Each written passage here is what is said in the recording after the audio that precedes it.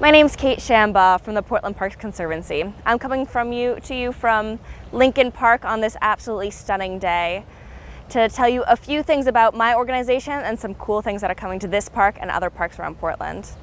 The Portland Parks Conservancy is a small young nonprofit that helps enhance the parks around Portland. We work very closely with Parks and Rec and the people of Portland to make sure that needs and wants are being met in the different parks around Portland. This year would have been Olmsted's 200th birthday.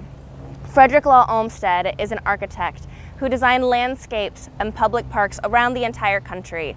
He did Central Park, the Chicago World Fair, Yosemite National Park, and many parks that you might find very familiar, including the Emerald Necklace in Boston. Inspired by the Emerald Necklace, he came up, or his firm came up, to Portland to design something similar to connect the parks around Portland.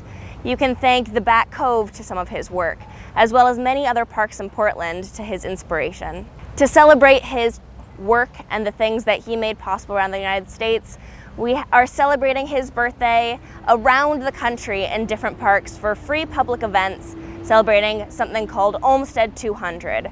In Portland, we're taking a little bit further. We have events public and free to everyone in all the different parks around Portland. Friends of Lincoln Park are putting on a concert series, four concerts, four Tuesdays in a row, free and open to the public for local artists. We also have other events going on. Sail Maine is putting on an event of colorful painted sails setting sail off of Casco Bay.